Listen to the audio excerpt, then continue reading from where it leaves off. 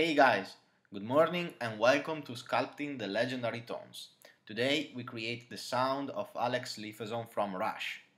Well, it's a challenge to create the sound of a progressive rock icon. I choose the Moving Pictures Lifeson sound. Let's start with the amp cab section. For today's video, I used a silver Jubilee rig with the matched cab from the Brit Silver Jab Pack. Lifeson is a Les Paul 335 user, so this patch is 4 humbucker pickups. I set up the mid and the treble higher than the bass because I can cover the right frequencies on the mix.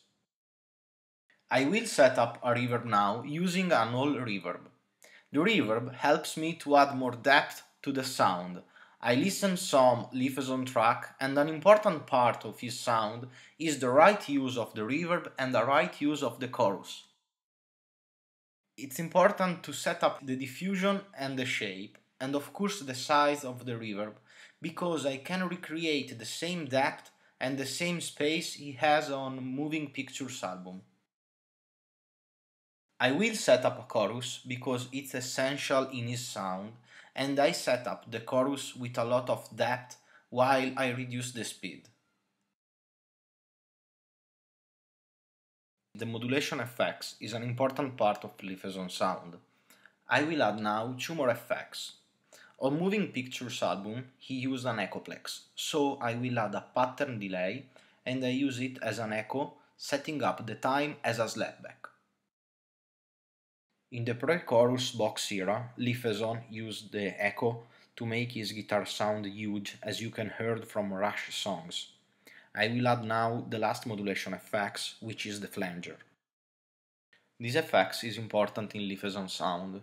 He uses it in a lot of songs like Spirit of the Radio, Free Will and more other songs. When I set up the flanger, we can check the entire chain. You should remind that you can find these and other patches I made on Overloud website, link in the description.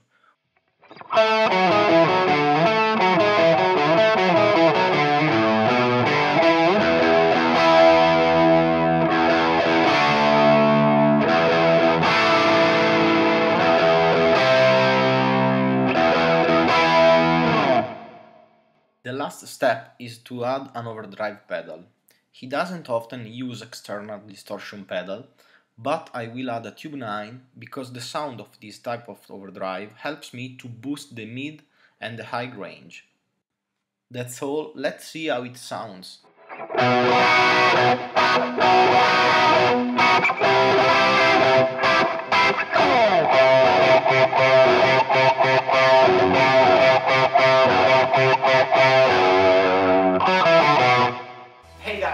Up? I hope you like the Alex Lifeson tone. Rate, comment, subscribe. Don't forget to ask me more other great band tones. You can find these and other patch I made it for you on Overloud website. Bye!